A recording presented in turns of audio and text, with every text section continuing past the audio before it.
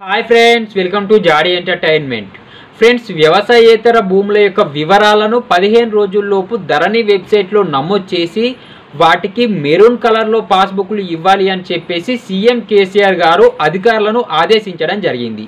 So ఈ విధంగా వ్యవసాయేతర భూముల యొక్క వివరాలను ధరణి వెబ్సైట్లో నమోదు చేయడం వల్ల కొన్ని లాభాలు ఉన్నాయి కొన్ని నష్టాలు ఉన్నాయి. సో మరి ఎట్లాంటి లాభాలు ఉన్నాయి ఎట్లాంటి నష్టాలు ఉన్నాయో తెలుసుకోవడానికంటే ముందు ఈ వీడియోని ఇంకా లైక్ చేయని వాళ్ళు ఎవరైనా ఉన్నట్లయితే లైక్ చేయండి.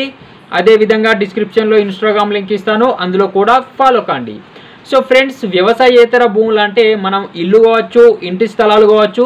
సో ఇట్లాంటి వివరాలన్నీ కూడా ఇట్లాంటి వాటి వివరాలన్నీ కూడా ధరణి వెబ్సైట్లో పదిహేను రోజుల్లోపు నమోదు చేయాలి అని చెప్పేసి తెలపడం జరిగింది. సో ఈ విధంగా చేయడం వల్ల రెండు విధాలైనటువంటి ప్రయోజనాలు ఉండడం జరుగుతుంది. ఒకటి లాభం ఒకటి నష్టం అన్నమాట. సో ఎట్లాంటి లాభాలు ఉంటాయి అంటే ఆ ఆస్తులకు సంబంధించినటువంటి చిక్కుముడులు ఏవైనా కానీ తొలగేటటువంటి అవకాశం ఉంటుందన్నమాట. ఆస్తులకు సంబంధించినటువంటి ప్రాబ్లమ్స్ లేకుండా క్లియర్గా ఉండడం జరుగుతుంది. సో ఇట్లాంటి బెనిఫిట్స్ అయితే ఉండడం జరుగుతుంది.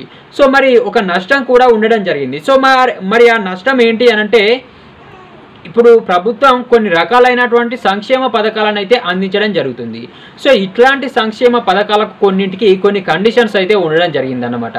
సో అవి ఏంటి అని అంటే కొన్ని కండిషన్స్ వచ్చేసి మనకు వైట్ రేషన్ కార్డు ఉన్న వాళ్ళకు మాత్రమే ఈ స్కీమ్ వర్తించాలి అని చెప్పేసి కొన్ని కండిషన్స్ ఉండడం జరిగింది. సో ఇంతవరకు ఆస్తులు ఉన్న వరకే ఈ స్కీమ్ వీళ్ళకు వర్తించాలి అని చెప్పేసి కొన్ని కండిషన్స్ అయితే ఉండడం జరిగిందన్నమాట. సో ఇప్పుడు ఏమైతుంది అని అంటే ఈ మన యొక్క ఆస్తుల వివరాలు అంటే ఇంటి స్థలానికి సంబంధించిన వివరాలు ఇల్లు వివరాలు కావచ్చు. సో ఇట్లాంటి ఆస్తుల వివరాలను ధరణి వెబ్సైట్లో నమోదు చేయడం వల్ల వాటికి అంటే వీటితో పాటుగా మన యొక్క Aadhaar card mobile number so వీటిని లింక్ చేయడం జరుగుతుందన్నమాట. సో ఈ విధంగా చేసినప్పుడు ఏమైతుంది అని అంటే ఆధార్ కార్డుతో చూసినప్పుడు మన ఆస్తులకు సంబంధించిన వివరాలు మొత్తం అక్కడ చూపించడం జరుగుతుంది.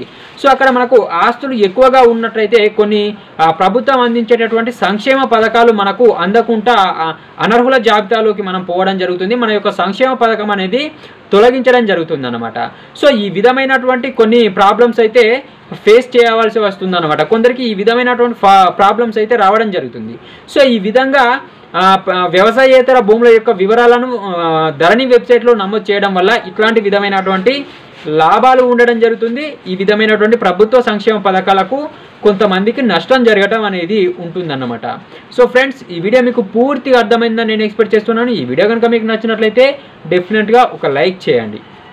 ఈ ఛానల్ని సబ్స్క్రైబ్ చేసుకొని వాళ్ళు సబ్స్క్రైబ్ చేసుకోండి. అలాగే పక్కన వచ్చేటటువంటి బెల్ ఐకాన్ని డెఫినెట్గా యాక్టివేట్ చేసుకోండి. Okay friends bye bye